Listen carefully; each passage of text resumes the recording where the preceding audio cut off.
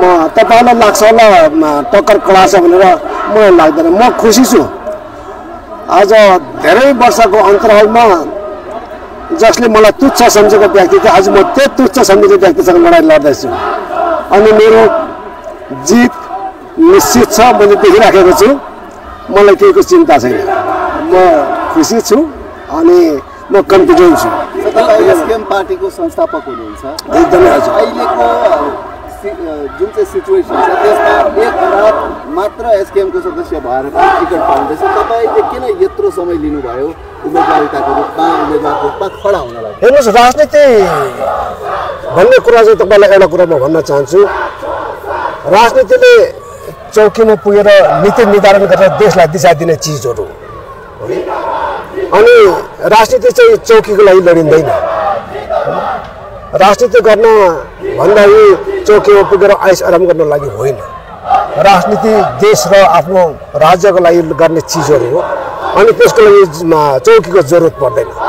अनि आज मलाई यो ठाउँमा आएर यो घडीमा आएर मलाई सम्माननीय पार्टी अध्यक्षले यो काबिलियतको सम्झिनु पर्यो आज मलाई दिनुमा म बडो गर्व मान्दछु अनि म उहाँलाई बढी धन्यवाद पनि दिन चाहन्छु कि आज यस्तो समयमा मलाई यो उमेरमा आएर फेरि भोट लड्न पर्ने स्थिति मेरोमा सिर्जना गरिदिनु भयो अनि उहाँले जुन प्रकारको मलाई विश्वास दिएर मलाई गरेर मलाई टिकट दिएको छ अनि म त्यस्तै म मेरो सरकारमा पुगेँ म सरकारमा पुगेर म चौकीमा पुगेर म त्यही मेरो आफ्नो राजनीतिक अडान बोकेर म आउनेछु तपाईँको क्षेत्रमा गुरु र चेलाको फाइट हो भन्नु मिल्छ कन्टेस्ट? न ऊ मेरो गुरु होइन म उसको चेला होइन।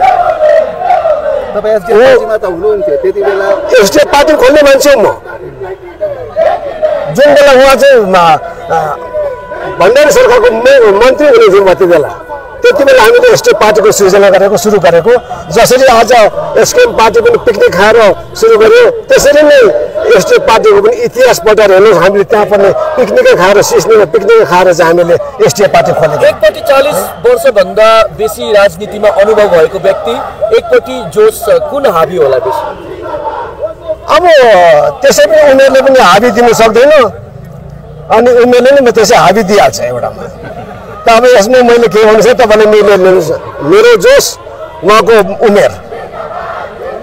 अब कुनै चिज चाहिँ त्यो तपाईँले देखिरहनु भएको छ होइन? पूर्व विधायकको रूपमा अब काम गरिसक्नु भएको छ। अबको नयाँ जोस कस्तो हुनेछ? हेर्नुहोस् मेरो बितेको जुन दस वर्षको मेरो विधायक काल थियो त्यस समय म बडा यङ थिएँ। है सानो उमेरमा म विधायक भएको थिएँ।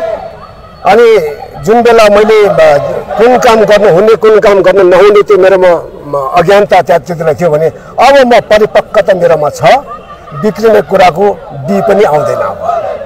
अब राम्रै कुरा मात्रै आउँछ मैले म सिक्किमको लागि राम्रैको लागि मात्रै म काम गर्छु हरेक कदरमा हरेक तत्कालमा म सरकारलाई पुरा टेवा दिएर सरकारलाई सही दिशा दिएर चाहिँ राम्रो सरकार र सिक्किमको लागि साँच्चै सिक्किमको जनताको लागि हक र अधिकारको लागि चाहिँ काम गर्ने सरकारको लागि म जहिले छु म तत्पर। तपाईँको समष्टिको भोटरको लागि फाइनल अपिल के छ म उहाँहरूलाई यही अपिल गर्न चाहन्छु कि यो सरकार निम्न दर्जाका जनता अनि सिक्किमको हक र अधिकारको लागि लड्ने र काम गर्ने सरकार भएकोले गर्दाखेरि मेरो लागि होइन उहाँहरूको आफ्नो भलाइको लागि सिक्किमको भलाइको लागि यो आउने दुई हजार चौबिसको उन्नाइस तारिक जुन चाहिँ हाम्रो चुनाव हुँदैछ यो चुनावमा भारी मतमा यो एसकेएम पार्टीलाई भोट दिएर विजय गराउनुहोस् यो मेरो विजय होइन यो सिक्किमे जनताको विजय हुनेछ अनि उहाँहरूको विजय हुनेछ अनि उहाँहरूको विजयमा उहाँहरूले रजाइ गर्नुहुनेछ यो मेरो बिन्ती छ Get all the credible news on the go.